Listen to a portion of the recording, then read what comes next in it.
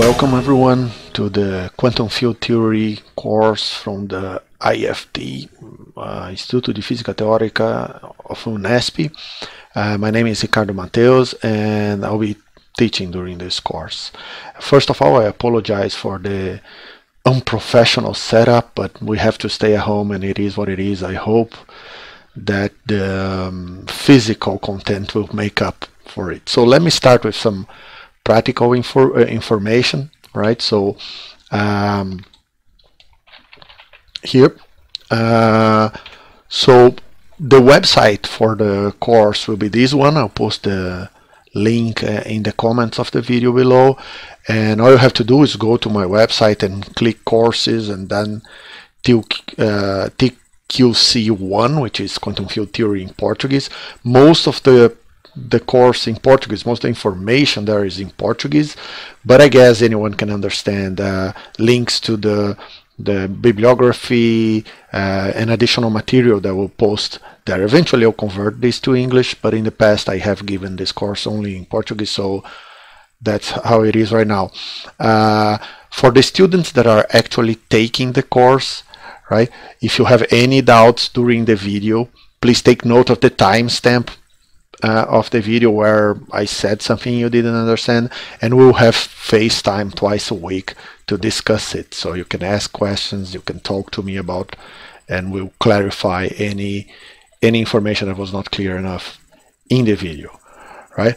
Also, uh, in terms of prerequisites, right? Uh, what you do you need to know uh, in order to understand and uh, follow this course properly, right? So first of all, all is quantum mechanics, right? Preferably at a graduate level course of quantum mechanics is needed to understand what is here, right? You, you need a solid base in quantum mechanics because we'll be taking it to uh, applying quantum mechanics in, in, in systems that are more advanced and more difficult than what you normally see in, quantum mechanics.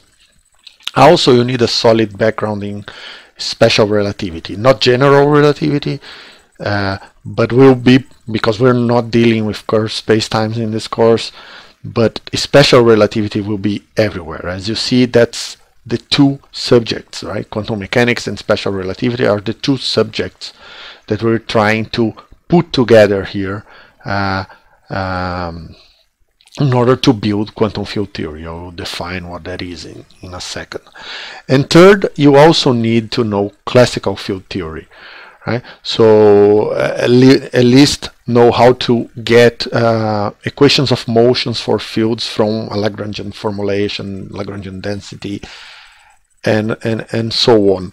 Uh, a good solid co uh, solid course in in electrodynamics, electromagnetism could could replace a, a specific course in classical field theory, but you need one or the other, right? You need to to know how to deal with um, classical fields. So I think that's that's all for the practical part. Let's get down to the subject itself. So what are we talking about in this course, right? What is the main objective of our course. The aim is to es essentially extend classical mechanics, right? But extend where? where? Where do we want to go? Right? One of the directions we could go is into the microscopic. Right? Essentially what you're doing is making the action, action of your system smaller.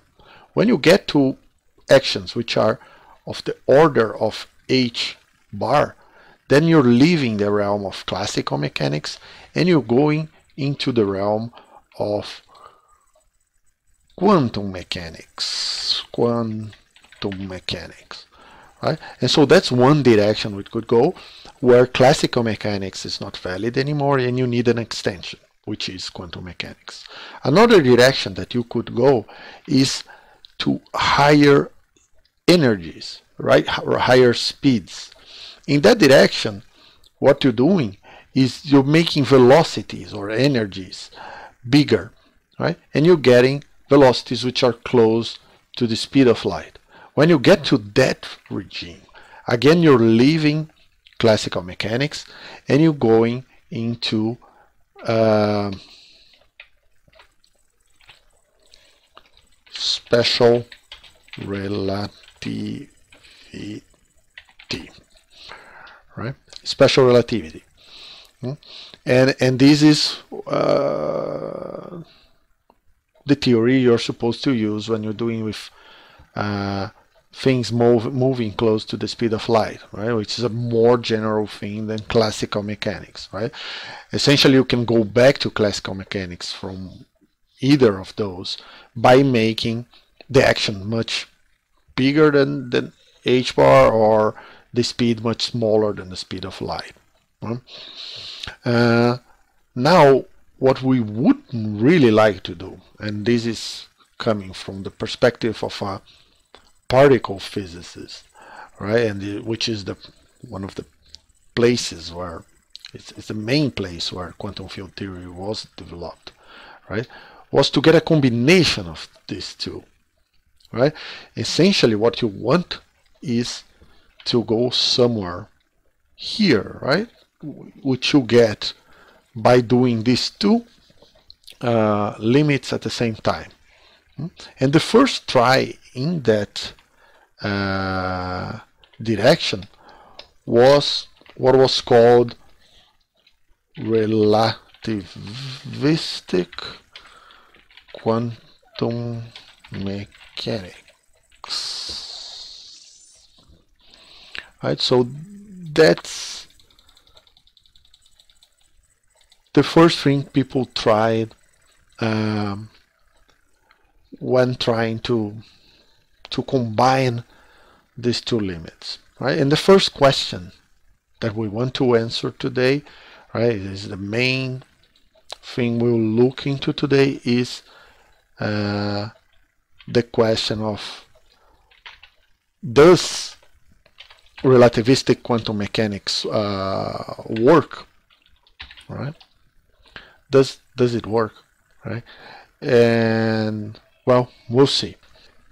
It is important to keep in mind that uh, this will be a quick review on, on relativistic uh, quantum mechanics. Uh, if you have never seen this before, you probably will want to go to to a, a introductory book on this and, and, and work out the solutions to the equations I'm about to show, right? Namely Klein-Gordon and Dirac equations. I'll, I'll show a little bit how you get to these equations and point out characteristics of, of their solutions but I, I, am I'm, I'm doing that very quickly so if you've never seen this before you probably want to check that out before uh, going forward so what do we know in classical mechanics you describe the system by a set of coordinates generalized coordinates. It doesn't need to be position. Uh, and so these are the qi coordinates, right? And conjugate conjugate momenta to these coordinates, right? Once you know uh, these pairs in the Hamiltonian version of classical mechanics, then you only need the Hamiltonian of the system, which will control, dictate the time evolution of these coordinates and the conjugate momenta. So essentially, if you know some initial condition for the system, the Hamiltonian will allow you to know uh, the coordinates and their momenta in any point of time afterwards, right? You know the evolution of the system. Right? To quantize is a prescription, is an algorithm on how to obtain a quantum system from, from this classical mechanics system. Right? What is to what is quantization? Right? Essentially, what you do is you exchange these uh, coordinates by operators. You make the coordinates and the conjugate momenta into operators uh, by imposing um, commutation relations. Right? So you're imposing these conditions. Right? You're imposing that now I'm using hat to indicate these guys are operators. Hmm? And you're saying that coordinates and um, momenta uh, commute with each other right? but a coordinate and its um, momenta, right, do not commute with each other, and they have a commutation relation, which is this one, right? Uh, keeping in mind that now I'm using here, I'll, and I'll be using during the whole course natural units, which mean for me C is equal to h bar which is equal to 1. If this is, sounds too crazy for you, this is these are called the natural units, very popular among tourists. Um, I'm posting in my website a, a, good article written by Jaffe for his MIT course, which it goes deeply into these natural units and why it's it's perfectly fine to do this. Right? The co the consequence of this is that all my units will be in units. Uh, there there will be only one uh, unit really, which is we mostly we use GeV, electron uh, electron volt, but um, or to some power, right? So gig electron volt, gig electron volt minus one or something like that. So if you don't know anything about natural units, I, I please go and read this Jaffe uh, uh, text I, I'm linking in the in the website. Uh, so when you do that, going back to quantum mechanics, when you make these coordinates and conjugate momenta into operators, right, you need something else to describe the states. And the states will be now uh, vectors in Hilbert space, which is the space where these operators act. So you have to choose one of the operators, build the basis uh, of eigenvectors of this operator, and see how the other operators act on this basis. Right? You need to choose a representation, for instance. So if we represent uh, the vectors in Hilbert space by wave functions of like psi of x and t, so there are wave functions that depend on the position and time. Right? This is uh, um, eigenvector of the position operator. So the position operator will be simply this, right? But the momenta uh, operators will take the form of derivatives, hmm? and the Hamiltonian operator itself will be a time derivative. Right? This is for the wave function of one particle. So there's two important things to notice here. Right? First, I'm describing one particle, right, that has a particular wave function, but no matter what I do to this wave function, how long I let it evolve, every time I do a measurement, I will measure just one particle, right? And the second thing is the role of time here, right? Time is not an operator. Time is not an observable, right? The observables are always associated with operator. For each operator, you have an observable because the eigenvalues of that operator are the possible measurements for that observable. Time is not an observable here, it's not an operator, right? It's essentially a parameter right? That gives the evolution of the system. As I change this number, time, I change uh, the state of the system and thus the, the, the chances of observing one, uh, one eigenvalue or another. Right? So, but position is an operator and that's a very different role for time and position and space, hmm? which already indicates that there will change will be needed if we want to make construct something like a space-time where space and time are on a more uh, equal footing. Hmm?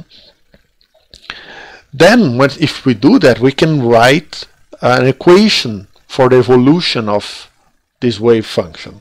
Again departing from the classical Hamiltonian, I'm thinking just of a free particle here, right?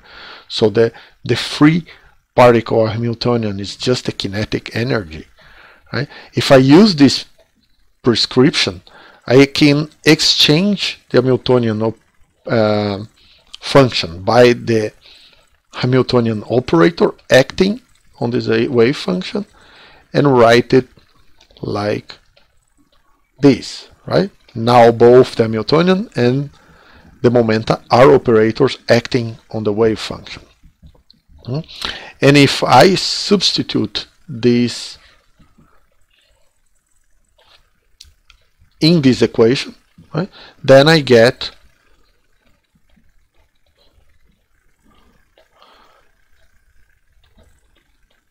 Schrodinger's equation.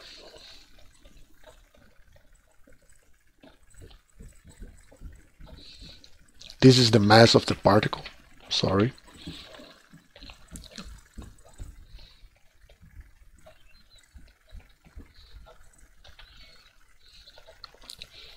Hmm? Again, you see the difference between uh, space and time. I have two derivatives in the position and only one derivative in time, which is a bad sign if we want to make these uh, relativistic. But okay, let's roll it and see what we can get from from this. Hmm? So, what is this wave function good for? Right? Uh, it gives the probability density more specifically, right? The, the the the chance I find the particle anywhere is given by the modulus square of this wave function. Hmm? And if I um, take uh, this equation and multiply it by itself or by the complex conjugate of this equation, I can easily write the following equation for rho, for the probability density. If I combine those two, I get that the derivative of this uh, probability the density, the probability density is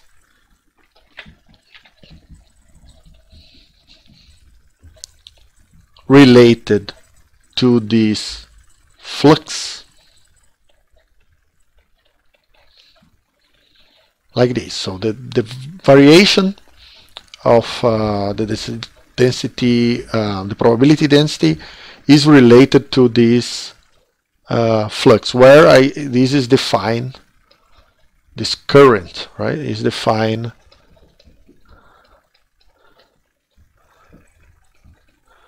like I over 2m psi star derivative of psi minus psi derivatives of psi star.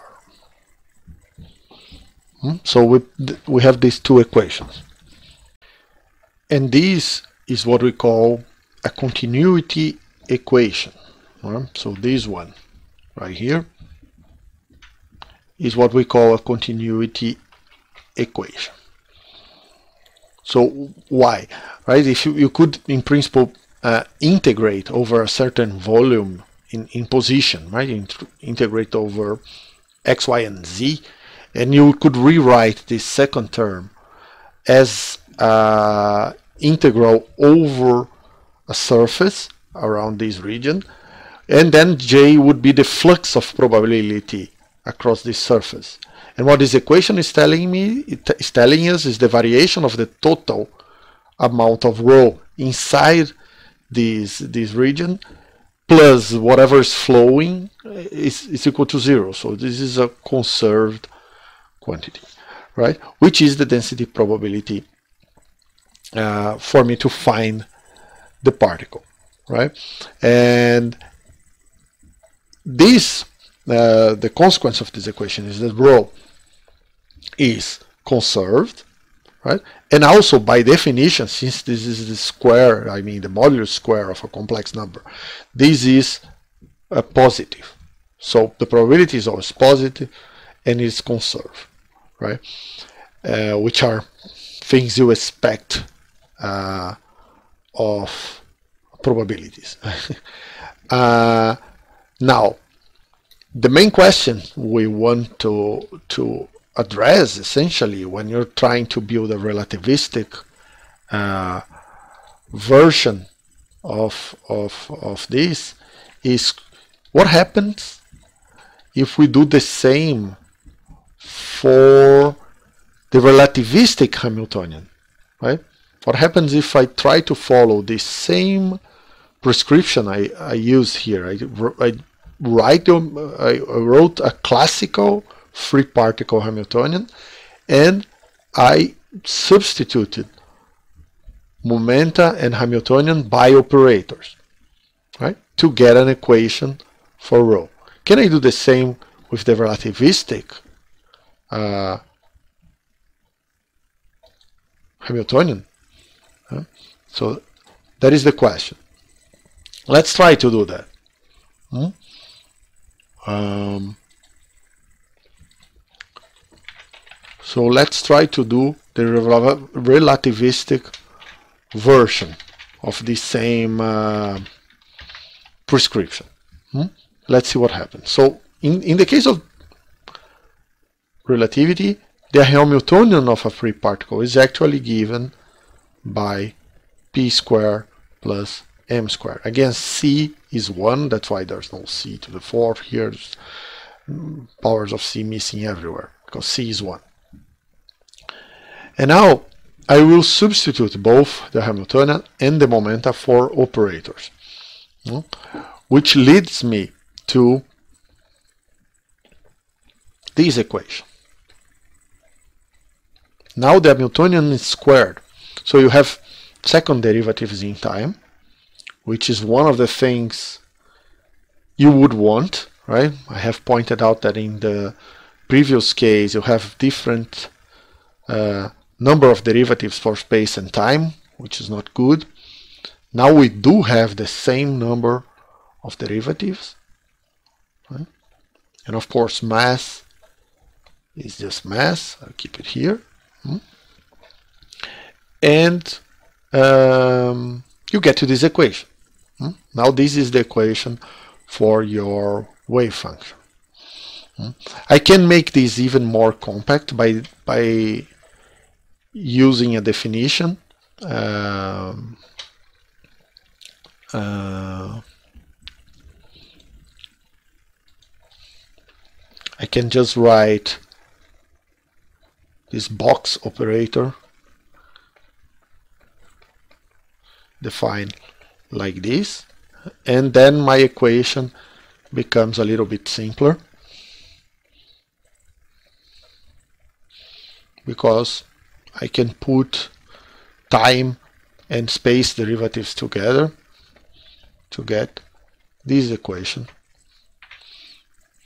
which is the famous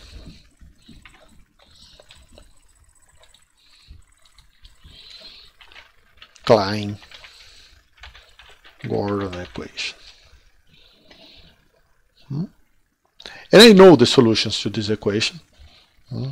Anyone that took a course in classical field theory has seen this.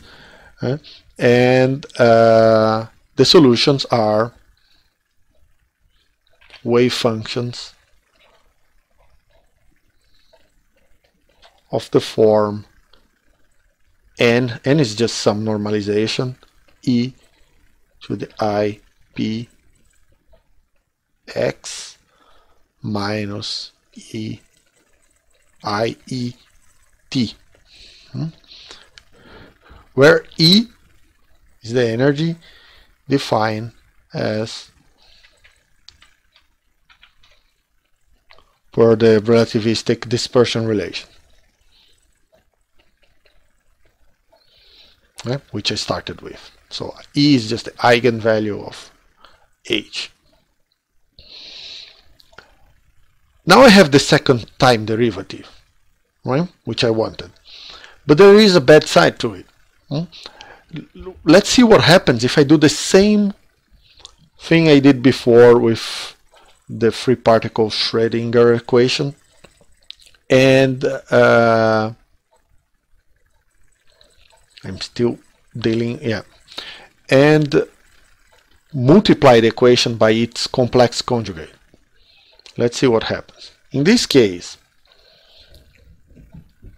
the continuity equation becomes this equation.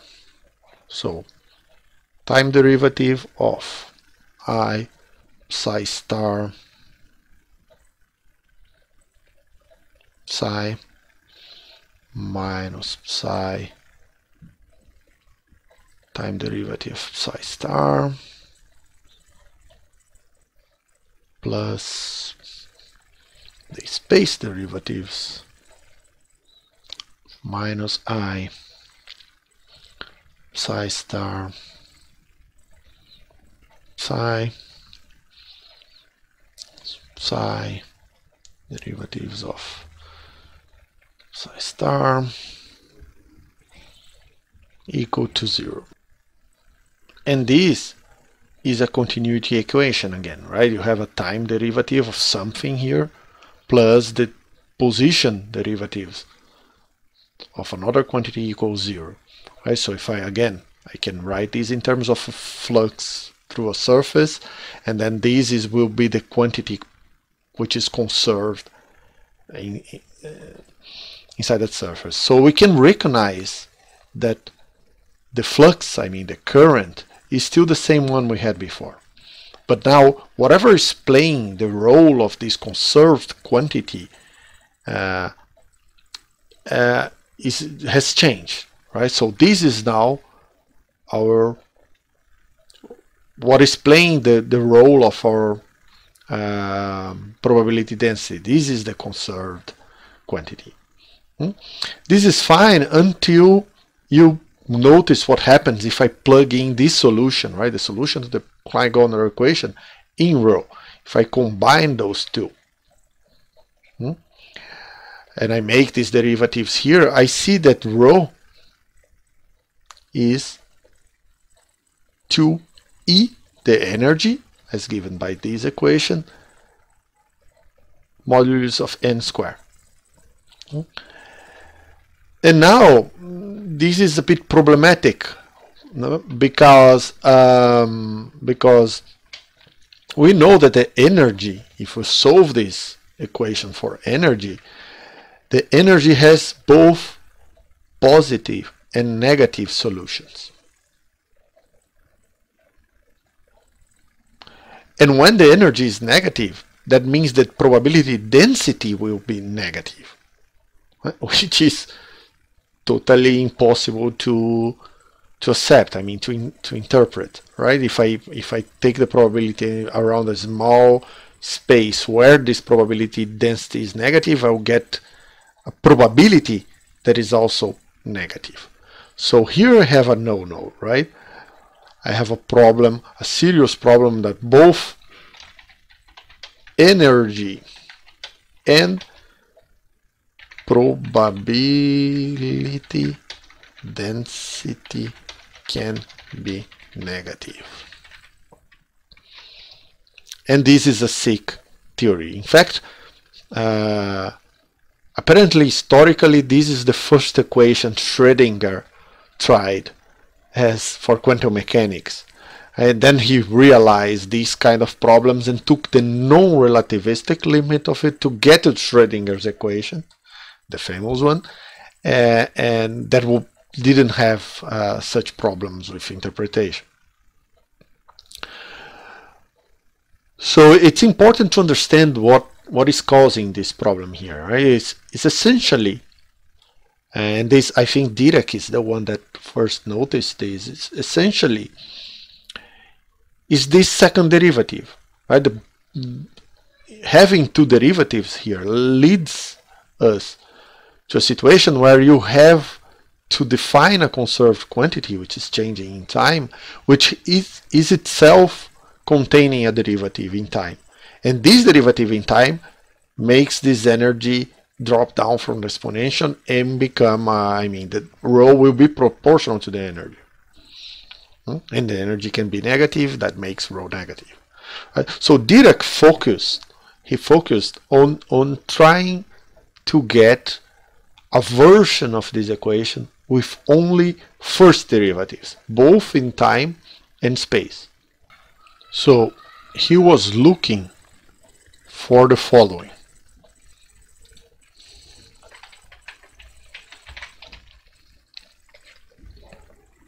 He needed an equation in which h psi, right? So now we don't have h squared, but only h was equal to some combination of momenta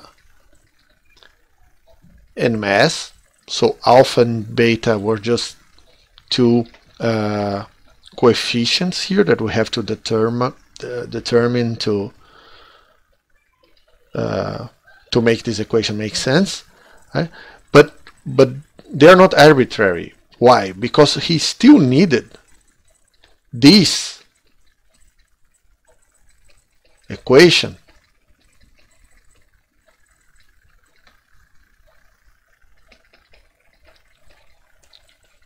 to be true.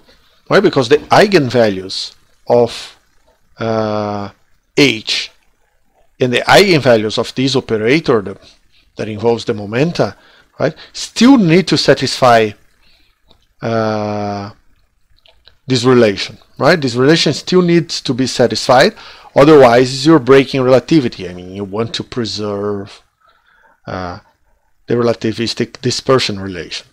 So he needed to find alpha and beta that allowed him to write this equation that will involve only first derivatives in position and time huh? at the same time that this was true. Hmm? So the condition is set by this demand. This is the condition I can use to find who alpha and beta need to be.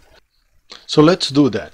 Right? So I take h square right? And uh, and it's important to say here the first thing Dirac notice is that I cannot treat alpha and beta as, as just numbers that commute with each other. Otherwise, it wouldn't be impossible to get here. So let's not do that and assume alpha and beta are not commuting.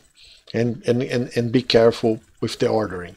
Also, these um, these uh, scalar products I'll write in the following manner with an implied sum over i here. So I'm using Einstein convention, with whatever index is repeat, I don't have to write the sum, it's, it's summing over that. In this case, i goes from 1 to 3, which are the three uh, space dimensions. Uh, so I'll write this, the first part is the square of this. Uh, I'll write it in a particular manner like this, alpha i, alpha j, plus, oops, alpha j, plus alpha j, alpha i, pi, pj. So here I'm doing two things, right? Essentially what would appear here is just alpha i pi times alpha j pj. But one of the things I can do is take this piece out because the momenta I'm assuming they commute with the alpha and also I know they commute with each, each other, right? The, the commutation relations for momenta is that they commute with each other. Also, I can these these indexes are are just labels, right? I can rename this exchanging i for j, and this is the same as above.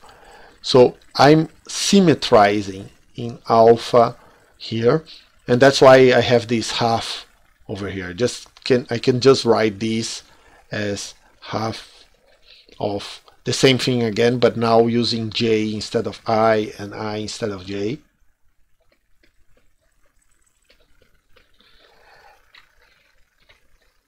And then I can pull the piece out right? Since they commute I don't I don't have to worry I don't have to worry about their ordering and I get to this expression above hmm? So this is the square of the first part, and the other parts are easier because it's just straight out putting uh, the calculations here. I mean, uh, again, I'm not assuming beta commutes with alpha, otherwise I could put these two together. So this is the cross term between alpha and beta, and the last term is just beta square m square. Mm -hmm. And I want this applied to psi to be the same as this. Hmm? So what are the conditions? It's, but for, first of all, right, this part here needs to be uh, delta ij, right? Because then I have the term p squared. Hmm? I have to make these two indexes the same. This needs to be zero because there's no cross term between moment and mass from here. And this needs to be one. Right? So there are a few conditions here. Hmm? In special, this uh, uh, this here is an anti-commutation relation between alpha i and alpha j. Right? In particular, if I make alpha equal, uh, i equal to j, I get that alpha i for any i square needs to be 1, just like beta. So already I have some conditions here that both alpha square and beta square need to be 1. So that's the first condition. And if i is different from j, I get from this part of, uh, uh, of the equation that the anti-commutator of alpha i and alpha j needs to be zero. Because then using this together with this I have this delta ij. They need to be equal when they are equal this is 1 and when they are different uh, this is zero. And also from this one I get that alpha i all that for all i right alpha 1 alpha 2 or alpha 3 also need to have an anti-commutator with beta that is zero hmm? and and and these are the conditions that these numbers these these objects need to satisfy in order to have a Hamiltonian that has only first derivatives and leads to the relativistic dispersion relation. Hmm? So what Dirac realized is that you can find essentially you you what you're setting here is the algebra for these guys, right? And you need to find mathematical objects that are a representation of this algebra, right? implement this algebra. And Dirac realized that matrices can do that. In fact, he exchanged alpha 1, alpha 2, alpha 3, and beta by what are the so-called Dirac matrices, which we'll name gamma 0, gamma 1, gamma 2, and gamma 3. Hmm? which we organized actually in a four vector that we'll call gamma mu. Right, this is the time part of it. Later we'll have to see how the properties of this guy are that I can actually identify it with four vector in in in I mean with time and, and space dimensions. So but the conditions for these guys are that they satisfy what is called the Clifford algebra, which I'm putting here, which, which are essentially the same relations I demanded for alpha and beta, but now with uh, um, factor 2 essentially, right? So this, this is just written in terms of the metric and uh, I am solving a factor half in, in the matrices. So, okay, in terms of this, right, if I go back to the definition I use for the Hamiltonian and I substitute alpha for gammas, right, and also I write uh, the Hamiltonian and the momenta in terms of the operators as I defined before, right, so I use uh, this prescription. Then what do I get?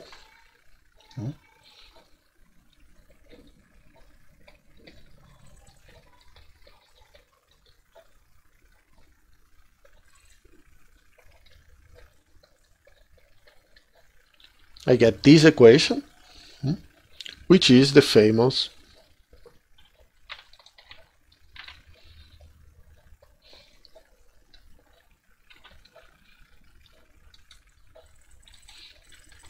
Dirac equation, which is the famous Dirac equation. Right? So this was the equation proposed by Dirac to solve uh, the problems we had before. So I want you guys to notice that what I did here was to join the time derivatives with the uh, space derivatives here. That's why I have of this time and space derivative here, del mi. Right? And uh, and uh, well, wrote something very analogous to the Klein-Gordon equation for a free particle again. Hmm? So let's see if this has actually solved anything. Right? This is the main question. Right? So now you're exchanging uh, um, an equation that had uh, second derivatives by an equation that has only first derivatives. And what did you gain? Well, the solutions to this equation are now of this form. Again, I have some uh, let's call it normalization for now. It's not exactly a normalization.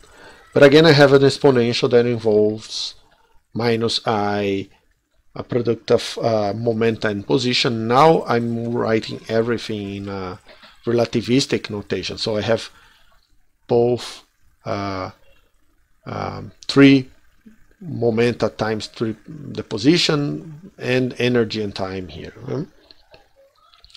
But now, since these are matrices, right, then it can be shown that these are actually 4 by 4 uh, matrices. This guy is a vector, not a, a vector in, in, in space-time, but it is a, a four-component uh, object, right, which is called spinor. Right, so this object right here is has has four components, right?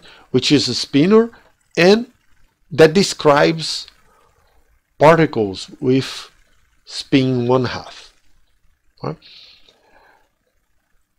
We'll see why this happens later, right? In this in this approach, which is historically how we got to this, it's not very clear why we got into spin one half particles here right? Back then, there was this tendency of thinking the universe was make, made only from spin half fermions. And so people were not too much worried by, by this. But, but we'll see that that spin is just not as trivial as it seems, and this is not exactly a coincidence. But this is the solution to the Dirac equation. This is a particular solution. Now, since we have only first derivatives, if you do the same exercise we did before and write the continuity equation, right? Since gamma square will be 1 and uh, you get to a probability density that is again just modulus of psi square, which is fine it, and and now we have let's say well-defined probabilities right? they are uh, positive definite right?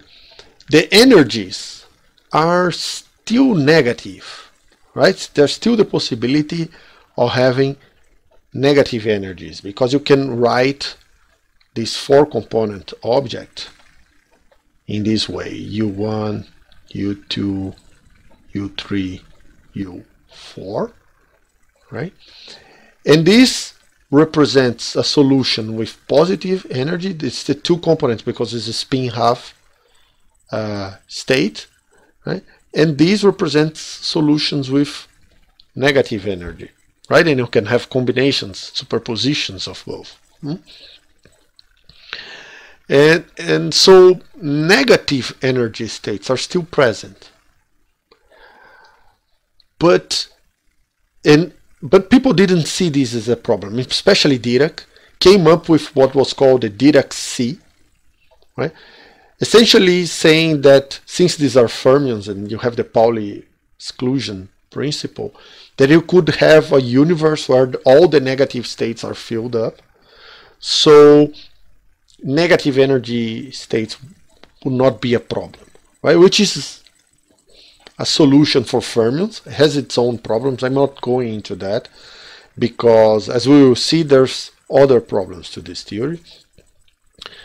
But at some point, people were satisfied or at least uh, putting up with this problem uh, using the Dirac uh, sea to, to, to uh, I mean, hand wave it away, motivated by the fact that this equation was very successful in predicting uh, uh, energy levels of hydrogen, right? Better than anything before.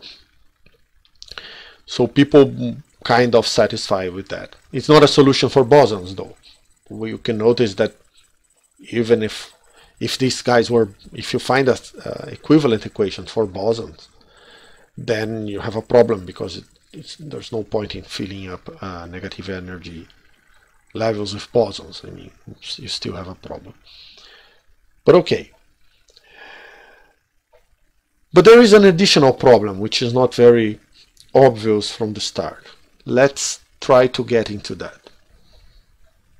The question I want to answer now is the following. Suppose I start with a state that is uh, that has a well-defined position. So a particle at position x naught, and I let it evolve as a free particle.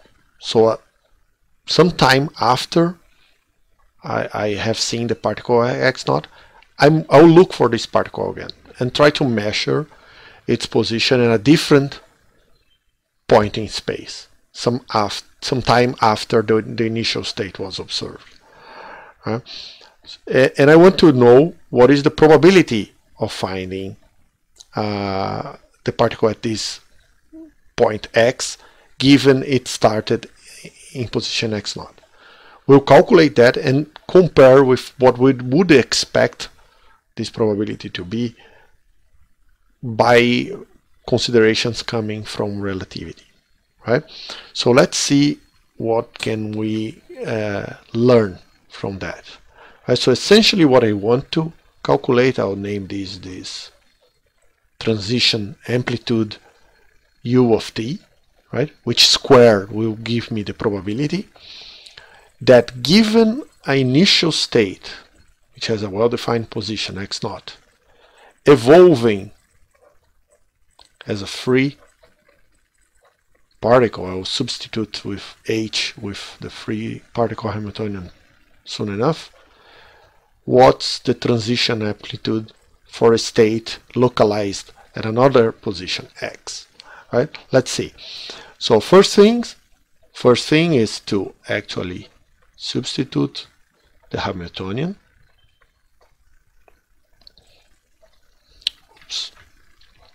T square root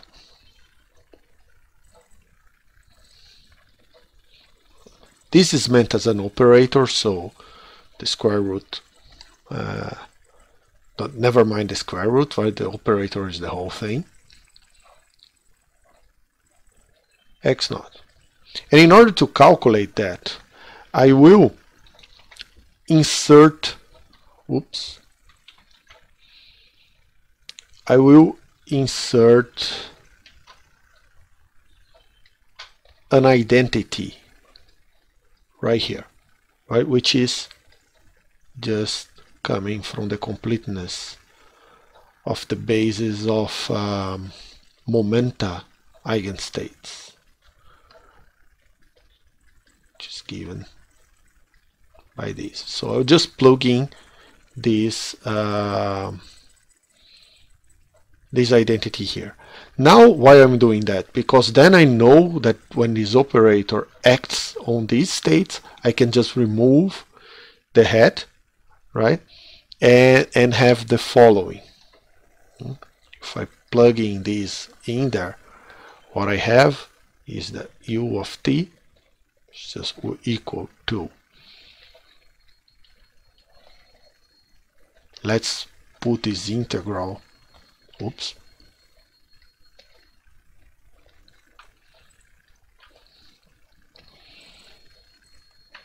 Let's bring this integral outside and here I'll have just exponential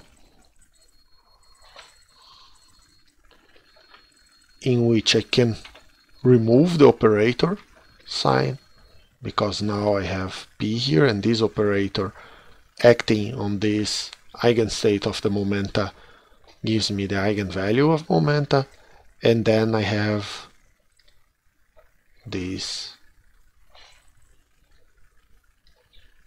here right so now that I have just the eigenvalue here I can also remove this exponential outside right? and I'm left with x uh, the bracket of um, uh, x and p. Again the the bracket of p and x naught which again are exponential. So I can rewrite this as 1 over 2 pi to the cube integral of d3p exponential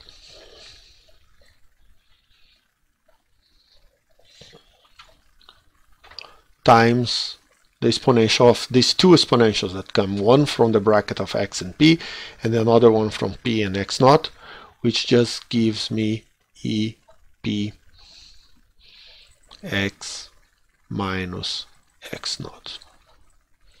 Right? So this this uh, is simple enough. This is just quantum mechanics.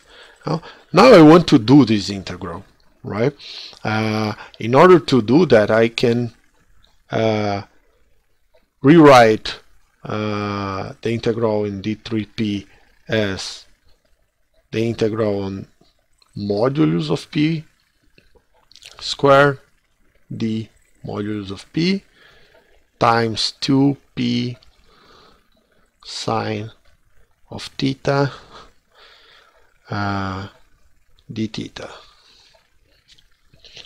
Uh, and this 2 pi comes from the integral in the in the third angle, right? In the d del phi, right? d phi.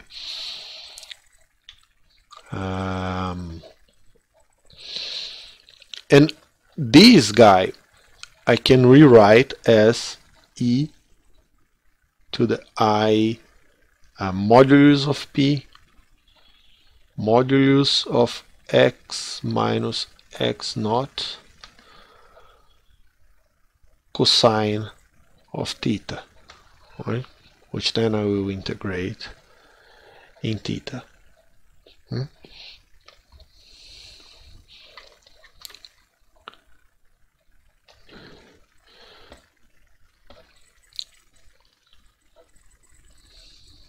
This allows me to do the integral in the modulus, uh, actually in, in the angle first, right? It's just a integral in this sine of theta d theta with the cosine of theta up here, right?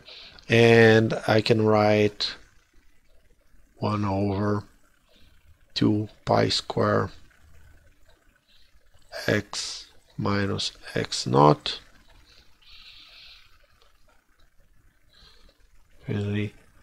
p now p is just the modulus of p so I'm not repeating this notation on stop right?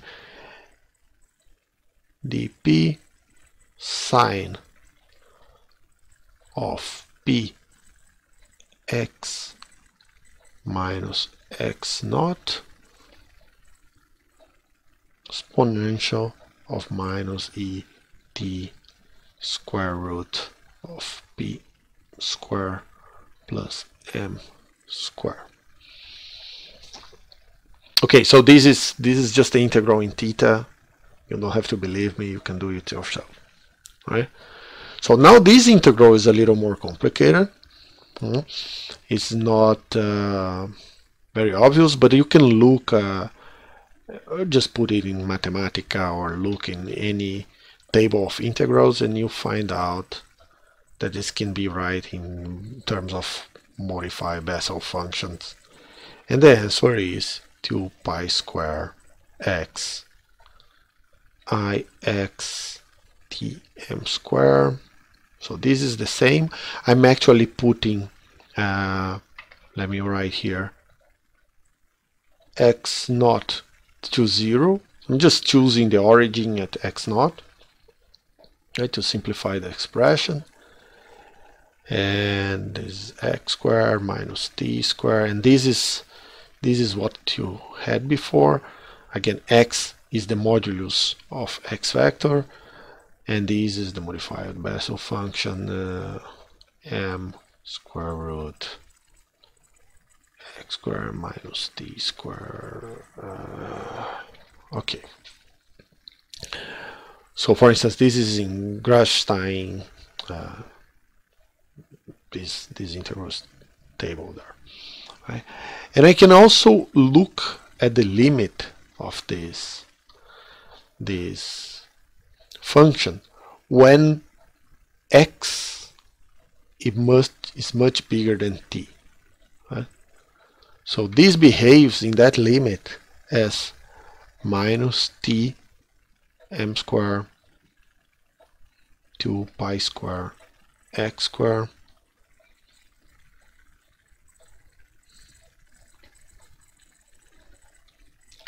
which is different from zero. This function is not zero. You could ask, what am I doing here? Why I, are you calculating these things? Right? Uh, what's the point? Uh, and the point is that this function being different than zero in that limit is a problem.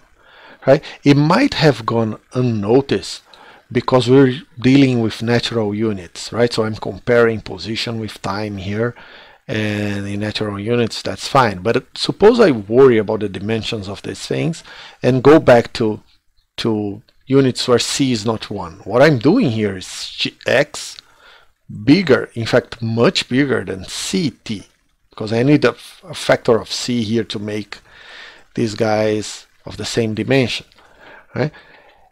And then you realize that for a particle that started at x naught equals 0 for it to be in position x bigger than ct, then it must have moved faster than the speed of light. So I'm going out of the causality uh, uh, of the causal connected region for this particle. It cannot be there. And the probability, I mean, this is still the amplitude, but it's different than, than zero. I'm finding this particle outside its future light cone. In fact, if we look at the uh, amplitude square, I mean the probability, it looks like that, right? Going back to natural units, so C is 1. This is the light cone. You can see that uh, this is not normalized, of course. This is just that number squared, so there are big numbers here. You can see it falls quite quickly, right? Exponentially, in fact. This is for mass 1 and time 1, but it's still not zero outside the light cone. It should not go beyond this red line right here. Hmm? and that is a problem. This this this, this theory is violate in um, causality, right? So a solution is needed. Right? So first, let us try to understand where the problems are coming from. First of all, when I'm trying to do relativistic, uh, when I'm trying to do relativistic quantum mechanics, I'm doing I, I, I'm I'm I'm trying to build a theory that deals with one particle states, right? So there's a particle that evolves according to the, its wave function. There's a lot of weird stuff. It goes through all paths, uh, but it's still one particle. In quantum mechanics, I start with one particle, I finish as one particle. And we know that because E equals mc squared, if I have enough energy, I can start producing particles. Hmm? So in a relativistic theory, I need some way to do, some way to, to take account of the particle production and annihilation, right? So that's the first problem, that we should expect this approach with the wave function to fail in the first place. This is a problem even if I have energies which are not big enough to produce pairs of particles we can see why that happens, right? If we, if you think of uh, the uncertainty principle of energy and time, which is that delta E, delta T is of order h uh, bar, right? That means that for a very small time, delta T, I can have E plus delta E to be as big as I want, as long as delta t is as small I want. That means that for very small times, the energy of the system can be above the threshold where I produce pairs of particles. That also means that E needs to go back to just E in a short time, and these particles need to disappear. These are the so-called uh, virtual particles. And the theory I just built has no way of dealing with that. And these virtual particles actually play a role and and and um, and I have to take that into account. In fact, this problem is related to the causality problem. Right? Um, people were led step by step towards the idea that the right way to to to describe these systems was actually in terms of fields right? And the first step in that direction was the so-called second quantization. So let's take a look at what uh, this um, second quantization is. So essentially what people realized is that there was something right about these two equations, right? But interpre interpreting that uh, function psi over there as a one particle wave function was leading to bad uh, bad theories, right? The interpretation was as these as a, a wave function which led to a probability density for one particle state was not good and somehow inconsistent with causality. so what they decided to do was to actually look at these equations as equations for a field. Right? So psi now is treated as a field which has an amplitude which is connected to the number of particles uh, in the system. So that you see there's a conceptual change on what psi is. Instead of being a wave function of one particle state, it's now the intensity of this field is connected to the somehow we'll see exactly how later is connected somehow to the number of particles uh, present right? And then you're looking this really as a classical field and not as a wave function anymore right?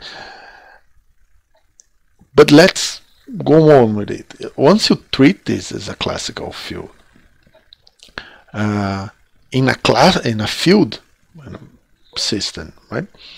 Psi is actually the generalized coordinate of the system and uh, you can actually construct a conjugate momenta to that generalized coordinate. Right? You can you can think this as a discretized system. If you divide the space, the whole space, into small cubes, and you assign a value of the field for each cube, you have essentially you can you can exchange psi of x and t by psi i of t where i is the index that goes through all of these cubes. And then this is the limit, right? Each of these psi i will be a coordinate. And this is the limit where the cubes get really small and the system has infinite number of, of generalized coordinates. Right? But thinking like that, the classical system has a set of coordinates which is given by the psi of each point, right? And it's canonically conjugate uh, momenta, right? Which is given as usual by this. Right? I'll define properly what are where is this this is the Lagrangian right so but we'll define all these things properly later in fact being formal this would be the Lagrangian density. But we'll get to that. For now, we're just treating this as a field, a classical field. We'll have core, uh, we'll have the, the states of a classical field will be specified by this, and then and then quantizing this would be to impose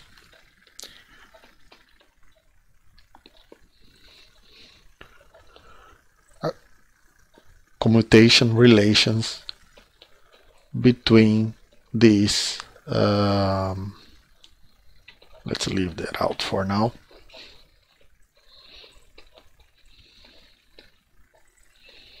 Between those coordinates right? Between the coordinates and their conjugate momenta. Of course the commutator between the coordinate and itself momentum itself is zero again right now, what I'm saying here is that I'm turning these fields into operators. And of course, I'll have to then define states of the field, right? States of the system in which I can measure the expected value of the field, just like I do with uh, position and momenta in quantum mechanics. So the observables of my system now would be things like that. I'll have to properly define what which are the states and, and we'll do that eventually.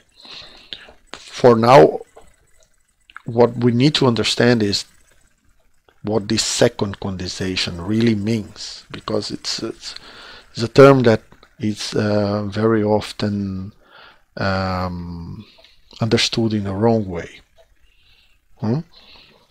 Again, the temporal evolution of the system will be specified by a Hamiltonian, right? But now it's the Hamiltonian uh, for a field, right? If I take this uh, equation seriously, I can do some reverse engineering and actually get the Hamiltonian, which will get me to these equations, right? And and and then I proceed like I did with quantum mechanics. So that's the approach people took. There are a few important things that happen here and one must take notice. The first one is what happened to the position. Right? Remember that in quantum mechanics we had this this um, problem, which I pointed out, problem from the point of view of relativity, right? That that position was actually an operator, so it wasn't observable, while time was just a parameter that you could change to to so that the film the the the, um, the system evolved. In here, x was actually downgraded to a parameter too, right? So the field depends on x and t, but neither x nor t are observables anymore.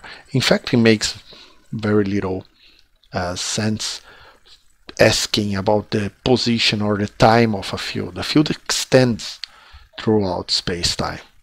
And, and they are not observables anymore. In fact, x and t are both indexes or parameters that you can run over and the field changes accordingly, right? Either the field as an operator or the expected value of the field. Right, so um, and this is better, right? This is something that uh, has more chance of actually becoming a relativistic theory because now space and, and time are becoming equivalent. They're both parameters of my field, right? Uh, we'll see that this new version, this new interpretation for psi is actually much better. And will show eventually it will take some some lectures to get to that that this theory now interpreted this way uh, has no problems with negative energies or negative probabilities and it doesn't violate uh, causality. Although we'll have to be careful with the definition of causality now because before we had a particle with a well-defined position at the start and the question we asked about causality is where this particle will be after some time right? And we saw that was outside its light cone so causality violated in this case that doesn't make any sense because the field is already spread all, all over space it makes no sense to ask where the field will be or it is the field is not really moving, right? So we'll have to come to a, a, a, better definition of causality. In this case, we'll get to that in more details, but for now, what you can start thinking is that what really matters is if I know how the field is behavior behaving in a specific point of space-time. I know how, how the, say I measure the field there can that influence other points of the field? I mean, can I, uh, two points that are disconnected causally, have measurements that depend on each other or influence each other? So that's the kind of question we'll have to ask. We'll have to see how how independent are different uh, are, are, are values of the field or, or states of the field that are in distant places, distant points in space-time. Uh, distant means outside each other uh, light cone.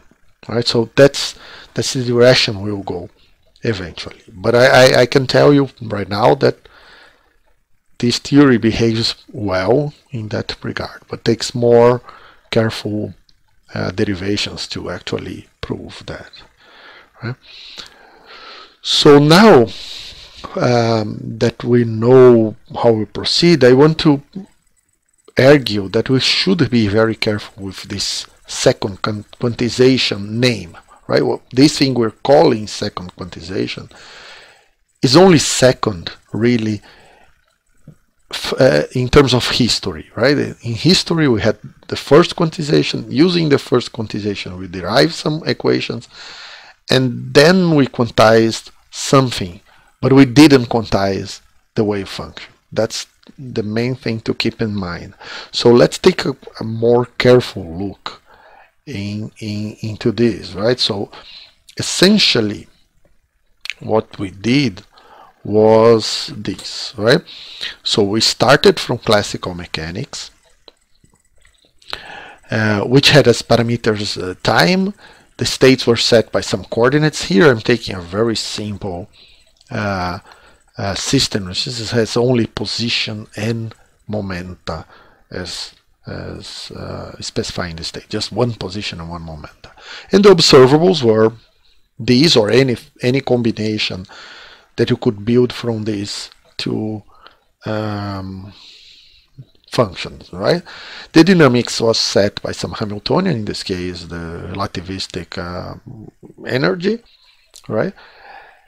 And Hamilton equations could be derived from the Hamiltonian to, to get the evolution of both Q and P. You just have to solve these equations and and you have um, the dynamics of the system. Right? What we did to quantize that was to impose um, commuting relations onto these um, functions, right? Making them into operators. The parameter is still t, but now you have to define states, which uh, will be in some Hilbert space of, and then you have to choose. I mean, there's there's more than one choice. You can choose states that are eigenvalues of these operator, of these, of any other operator, right? And observables will be expected uh, values of, of these operators in, in those states. Hmm?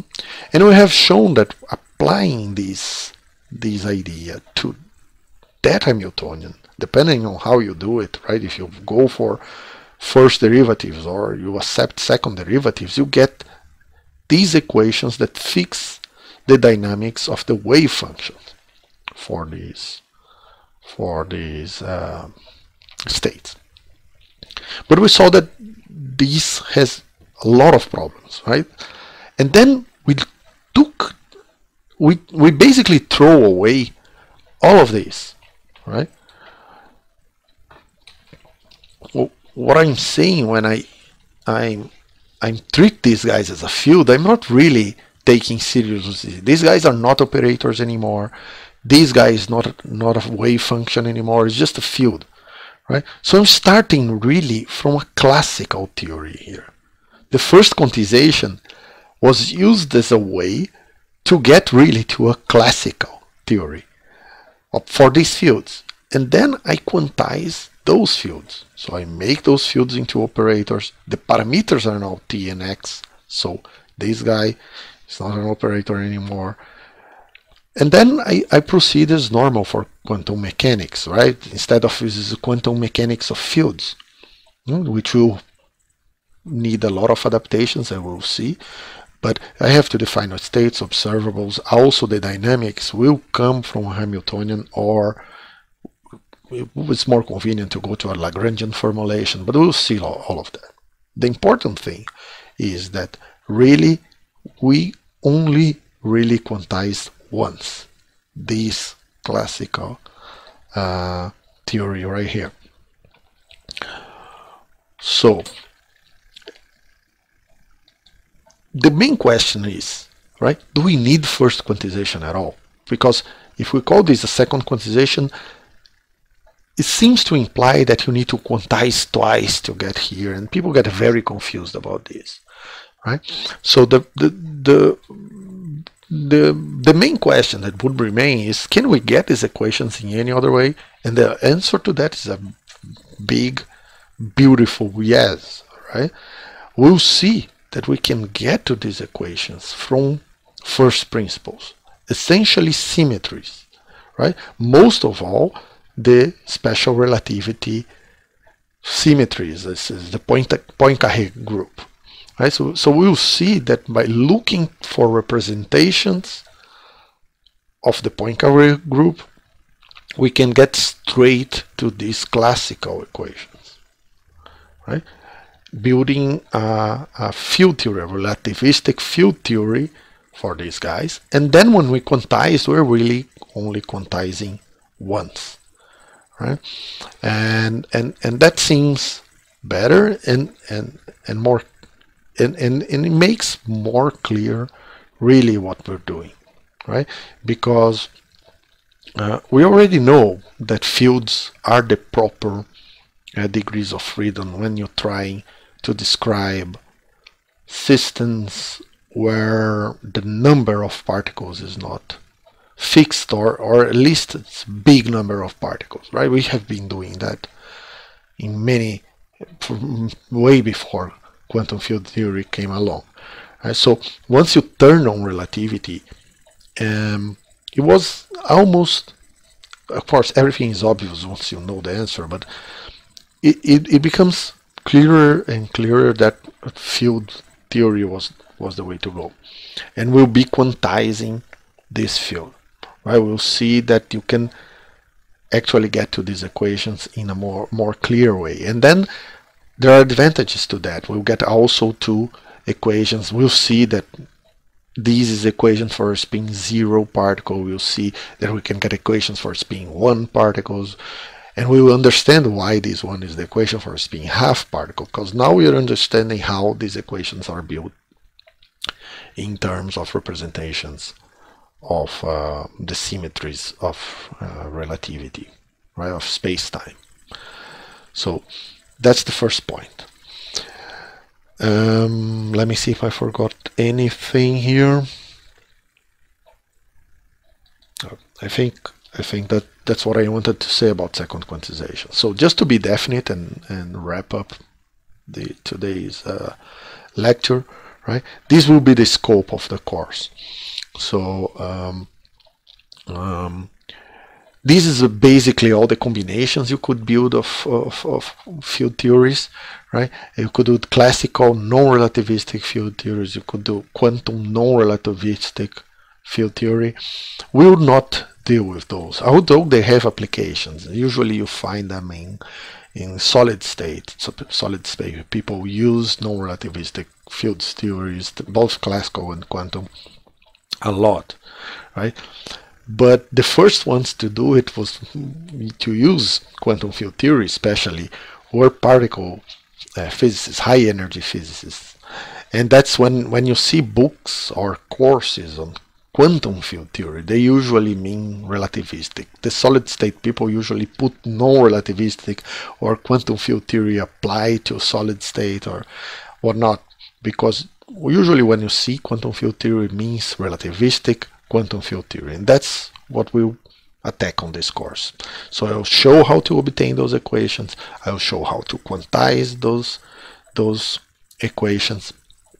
I mean to quantize those fields, and then we'll go through the consequences of the quantization, how to define states, how to how are the observables, how to make predictions uh, that are observable in experiments using those theories.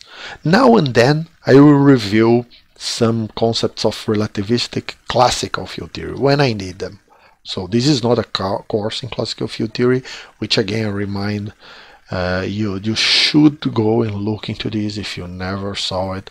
I will review what I need, but there will be a lot of uh, running right on this subject.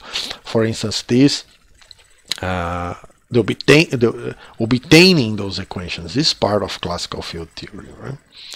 And also these uh, this discussion I made at, at, the start, you can see that in uh, advanced course in quantum mechanics or early in a um, classical field theory course. So uh, that's it for today. I um, and see you next time. Uh, we finish with some exercises. So th these will be useful, especially for the the the students that are taking the course because we can discuss this when we have a presential um, meeting later right? So the first one will be to read Weinberg's chapter 1 which goes through the whole story of the development of, of, of these ideas that I uh, that I talked about today. The second one is to go back to uh, this 40 minute mark of the video and show this change of uh, matrices from alpha and beta and to, to the Dirac matrices and the third one is to consider this integral, right? Which uh, in the development I showed uh, before, I used uh, just used the solution for from integration table book, right?